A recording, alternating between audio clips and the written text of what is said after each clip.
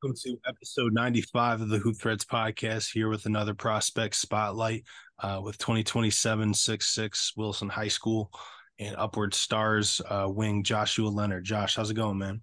I'm going very good. All right, brother. Well, let's just get to it. Um, tell me, uh, tell me about your first dunk. Tell me what that was like. Uh, my first dunk, it was like in like sixth grade summer. It was a great, like, great feeling to actually finally dunk. As being like so young and dunking. Like that was in the AAU game or middle school or it was like I think it was like at, at a practice at this middle school before. Okay. Gotcha. Yeah, it must be exciting. Um, so I'm just gonna kind of talk about your game a little bit as far as what I see as far as strengths and weaknesses, and then we'll kind of get to you know what you feel about your game. Um, I think you can handle it pretty well, and you move really well for a kid your size. You can shoot a little bit. You can put it on the floor.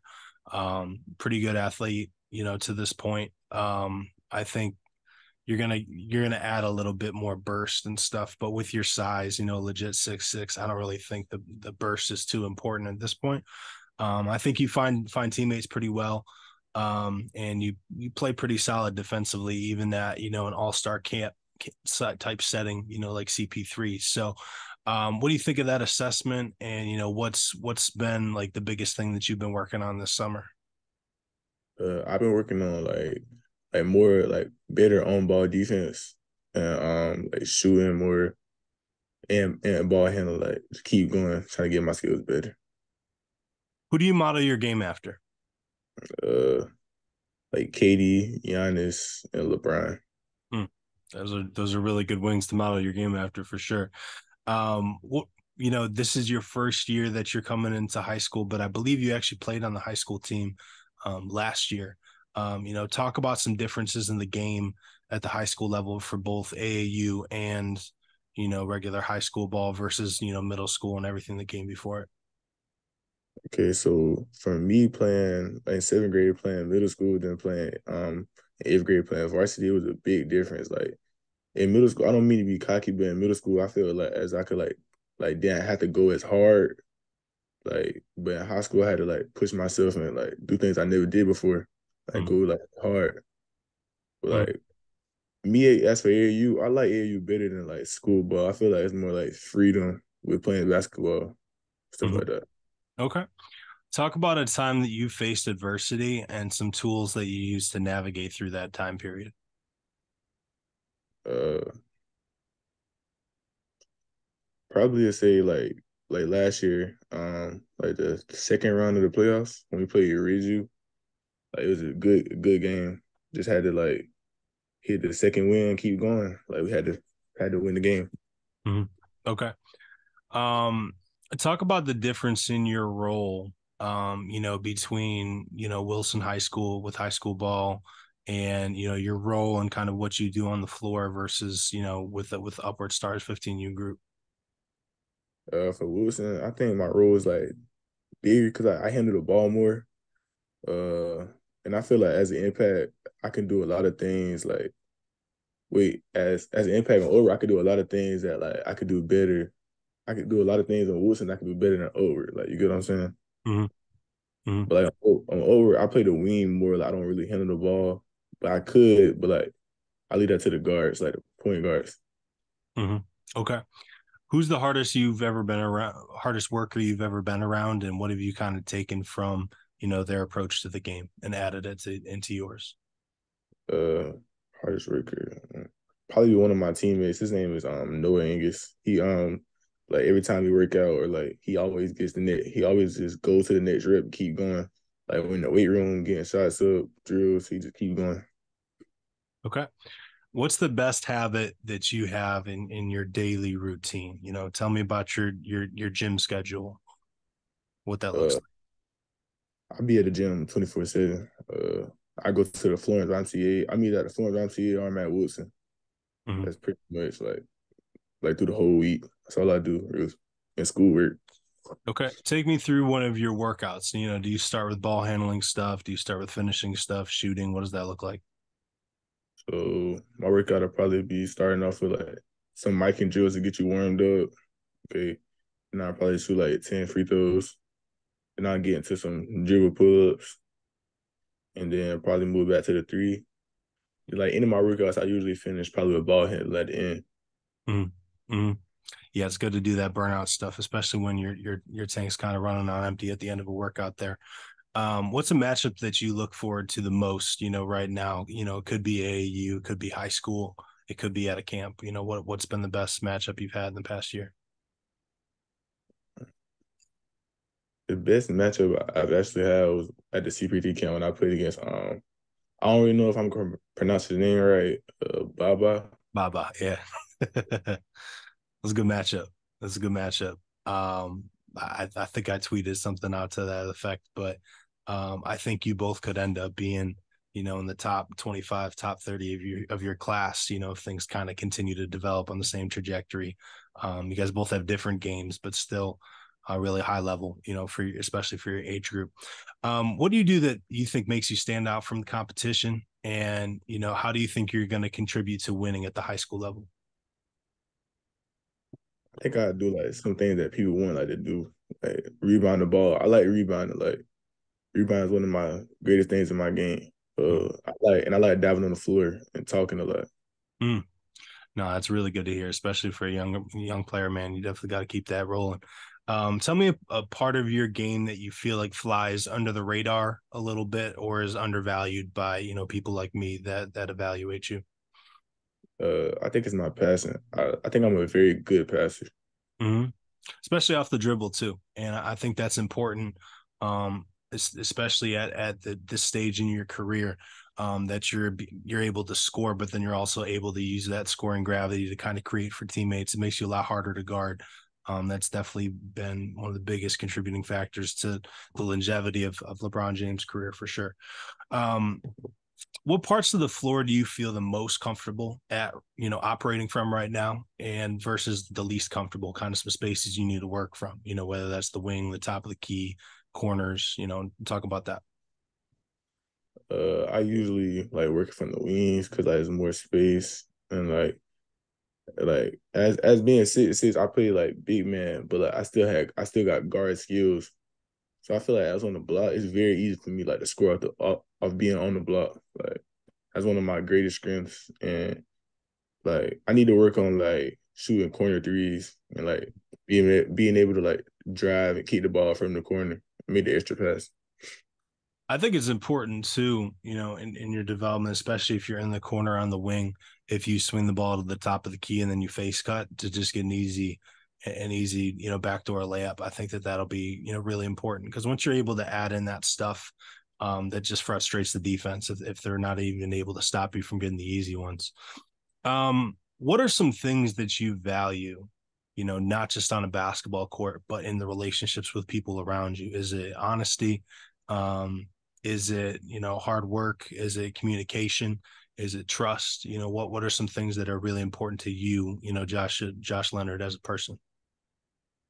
Uh, it probably would be either either trust or loyalty, probably. Mm-hmm. Okay, talk about why. But I just feel like you should be able to like trust your friends, like you had it back and they have yours. Mm-hmm. Okay. Um, tell me about your interests and hobbies off the court. Um, you know, if basketball doesn't work out for you, um, if your career, you know, God forbid, ended tomorrow, um, what would your plan be? Mm, I'd probably become a clothing designer, start my own brand. You said clothing designer? Sir, I like like exploring a lot of things and doing a lot of stuff. Okay, so fashion is important to you. That's that's interesting. That's cool. Um, give me your goals for this season, both individual and as a team. Uh, this season for myself, uh, I want to accomplish the same thing I accomplished last year by making All State.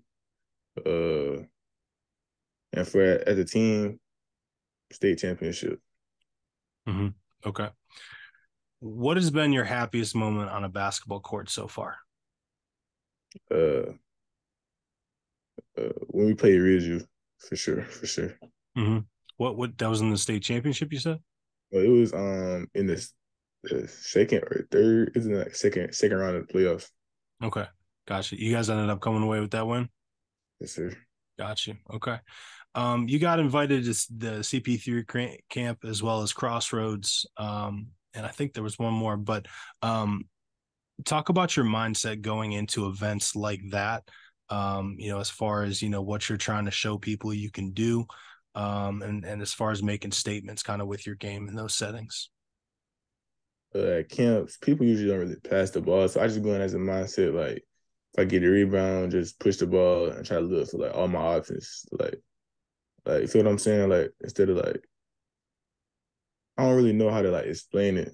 Like instead of like just passing the ball free, like look for all my options, and then like if I don't have anything, pass the ball. Like you feel mm-hmm. what I'm mm-hmm. saying?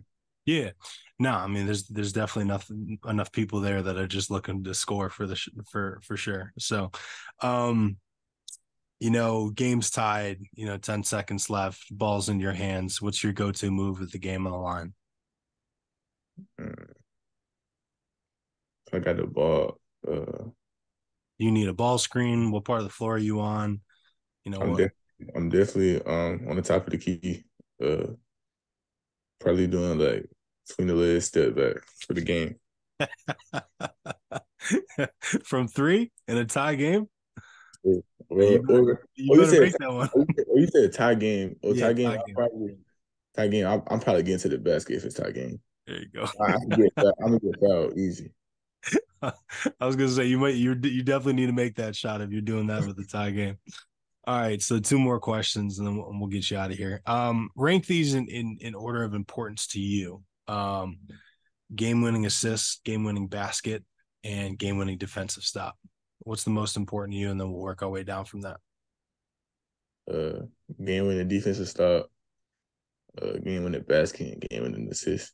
Okay. Um, what are you looking you know we're obviously a long way away from it you know as you're you're an incoming freshman. Um what what style of play what type of school what type of environment do you think you'll be looking at you know for the next level? You know when when you make that decision you know f- you know 4 years down the line here uh, what are some things that you think you'll prioritize as far as like style of play? You know what what type of coaching works best for you you know whether you know you're, you're going to stay local whether you like to stay local versus kind of going um, across the country uh, what are you thinking there? It's like from my school i don't really know what school i want to go to yet like it all depends really. But as a structure i want a team with like i want to be on a team has a lot of um what's the word i'm looking for? A lot of um i can't think of the word. I can't think of the word are you thinking culture? What it would would? Well, no, it's like I can't think of it. A lot of discipline. Oh my okay. gosh.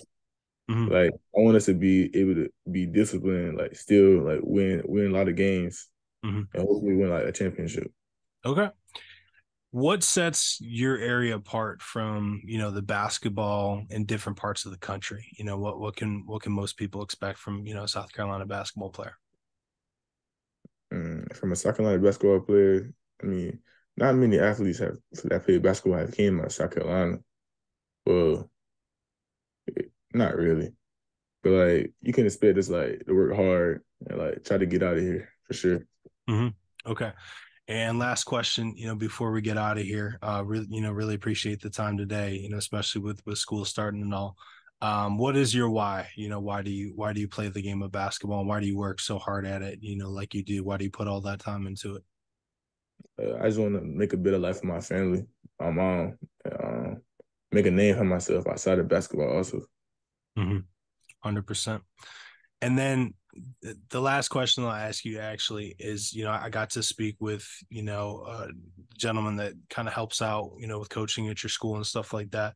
Um, talk about the different kind of path that, you know, he he and your mother kind of have mapped out for you as far as, you know, keeping you away from things and, and keeping you focused, you know, locked in on the dream and and and you know that that requires a lot of sacrifice on your part. Um, you know, talk about the kind of the focus and the preparation um, and the desire that you have to kind of play basketball at a high level. Uh, like it, it's from like working out at like six a.m.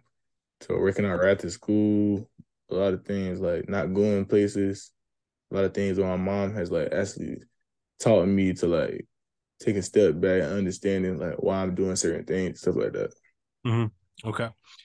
Well, uh, you know, really appreciate the time and you know, look forward to watching your career. Like I said, we got we got, we got four years to go here. It's gonna be a lot of fun watching you play, watching you develop. But I, I sincerely think that you have a chance to be, you know, one of the better players in your class. You know, as long as the the upward trajectory continues. But that that involves you not, you know, resting on your laurels and, and getting uh, complacent. So, really appreciate the time, and we'll keep in touch. Sir.